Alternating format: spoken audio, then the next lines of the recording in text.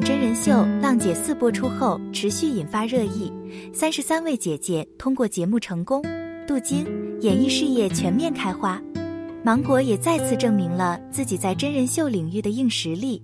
嘉宾阵容、选曲、编曲、文案、宣传、舞台美术、节目影响力等多个维度全面碾压同时期其他热门综艺。带着前三季节目的口碑和光环出场，《浪姐四》自然不缺少话题关注度。每一期节目上线后，几乎承包热搜。在第四次公演舞台结束后，他他他成功引人众人的目光，谢娜也再一次成了众矢之的。作为《浪姐四》中的矛盾争议体，谢娜想要突破自己，于是误入铃芽之旅，让一首本该出圈的《他他他》成了争议的焦点。谢娜的路人缘本来在三公舞台有所提升，没想到四公结束后一下子又被打回原形。浪姐四的火热出圈，也吸引了一大波乐评人入局。有人负责给节目组提供选曲的思路，当然也有人负责导游。没错，这位导游的就是一向以毒舌形象示人的乐评人丁太升。丁太升在《生生不息宝岛季》节目播出期间异常活跃，点评视频一期接着一期，歌手张杰也成了他的流量密码，谢娜也跟着受牵连。丁太升就曾专门发视频吐槽谢娜在《浪姐四》中的表现，直言谢娜唱歌和她的文化水平一样干瘪，毫无亮点言。丁太升还把谢娜和张杰两口子一起拿来吐槽，认为他俩就是平淡生活中的刺。时不时就能刺我们一下，让我们的生活充满了快活的空气。谢娜因为他他他遭众嘲，丁太升怎么能放过这样的机会？于是，一期专门吐槽的视频如约而至。丁太升认为，《浪姐四》四公舞台有两个亮点，一个是谢娜唱了他他他，一个是美伊里芽唱了青鸟。很多人会拿《浪姐四》的青鸟去和陈乐一演唱的青鸟进行比较。丁太升个人更喜欢陈乐一的版本，情绪和演唱是一贯的，中间没有任何断层情况的发生。浪姐四四公的版本，一到美伊里芽的演唱就会让人入戏，美伊里芽一不唱就让人出戏，这种断断续续的感觉让人听着不舒服。在丁太升看来，合作是一件非常有意义的事情，你的合作对象很强，那么他的强也会刺激到你，很可能会让你超水平发挥。你的合作对象很拉胯，很可能会抵消你的能量，让你的水准很难发挥出来。丁太升话锋一转，他表示恋爱也是如此。如果你遇到一个非常优秀的人，这个人会带着你，让你变得更优秀。龚琳娜遇到了老罗，在老罗的启发下，龚琳娜也成了声音艺术家，她把演唱变成了实实在在的艺术表达。丁太升表示，如果龚琳娜遇到的不是老罗，而是张杰，那么后果不敢想象。但谢娜很幸运，她遇到了张杰。原来所有的铺垫都是为了 cue 张杰和谢娜。丁太升的视频，张杰也成了绕不过去的话题。丁太升认为，谢娜是一个不太会唱歌的人，她的声音条件太普通，甚至低于普通的 KTV 水准，声音完全没有魅力。但谢娜很勇敢。她敢于对自己发起挑战，她选择了去和龚琳娜、美伊里芽共同来演唱难度非常高的《他他他》。他他他是一首词曲唱和艺术性俱佳的作品，这样的作品一定要由真正会唱歌的歌手来演绎，否则就是暴殄天物。丁太升直言，龚琳娜和美伊里芽都是非常优秀的歌手，高手过招能互相激发。彼此互相碰撞，也能让他们的魅力最大限度地散发出来。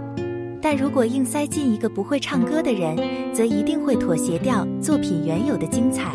丁太升表示，他他他是一个不属于谢娜的世界，就像大家正在谈论落霞与孤鹜齐飞，秋水共长天一色，而有人只会在那扯着嗓子大喊牛掰，大家压根不是一个世界的人。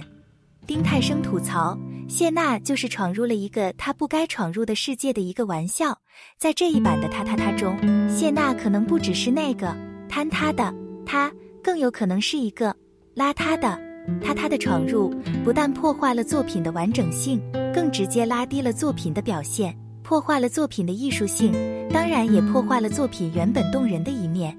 丁太。泰生也很遗憾，他认为龚琳娜和美伊里芽好不容易构建起来的作品意境，谢娜一张嘴就没有了，像是直接抡着大锤砸掉了作品的，承重墙。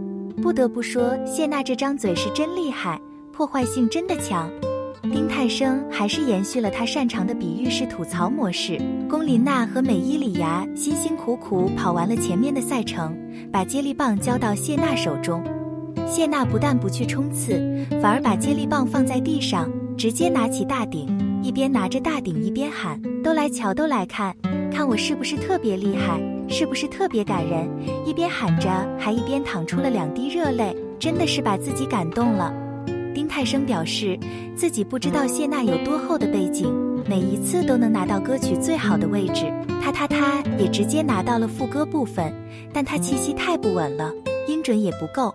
所以只能依靠后期修啊修，声音修的估计连她亲老公都听不出来那是谢娜的声音了。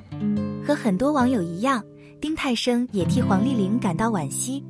他认为，如果这一版的《他他他》是由龚琳娜、美依礼芽和黄丽玲来演唱的话，真的能够成就一版新的经典。但历史不容假设，谢娜毕竟是谢娜，她总有办法出人意料。也总有能力把一首那么好的作品糟蹋得面目全非。丁太升虽然有时候说话很毒舌，听起来确实会让很多人不舒服，但有一点不得不承认，他对于谢娜的一些点评还是一针见血，很多都说到了观众的心坎上。谢娜这一次确实做出了一次错误的决定，他他他留给他的全是负面效应，一顿操作猛如虎，结果把自己送上了热搜里挨骂。对于丁太升的点评，你们有什么要说的吗？接下来说浪姐四武功，谢娜带领全员进入乘风夜，你希望谁成团？网友们热评的浪姐四来到了第五次公演，姐姐们都相处得其乐融融，而网友和姐姐们的粉丝因喜好不同而在各网络撕得不可开交。浪姐四武功将是没有门票的姐姐们奋力一搏的最后机会。武功发布了新的赛制。排名第一的全员成为乘风创始人，也就是武功获胜的队伍全员进入乘风之夜。最后两名按人气排名低的将会淘汰。目前还有六位姐姐未担任过乘风创始人，离乘风之夜只有一步之遥。目前还不是乘风创始人的姐姐有贾静雯、谢娜队、刘雅瑟、谢娜队。蔡少芬、陈嘉桦队，瞿颖、陈嘉桦队，徐怀钰、陈嘉桦队，吉娜、刘逸云队。据说武功谢娜队拿下第一。根据公布的赛制，也就意味着贾静雯、刘雅瑟两位姐姐在武功拿下乘风创始人，可以顺利进入乘风之夜。而蔡少芬、瞿颖、徐怀钰、吉娜四位未获得乘风创始人的姐姐将无缘乘风之夜。目前有十五位姐姐担任了乘风创始人，获得了进入总决赛的资格。加上武功贾静雯、刘雅瑟两位姐姐，以及复活赛两位直通成团夜的唐伯虎和汪小敏，共十九位姐姐进入成团夜。这十九位姐姐，你最期待哪几位姐姐成团呢？好了，以上是本期的内容。如果你喜欢我们的节目，欢迎订阅、点赞、转发，感谢大家的支持。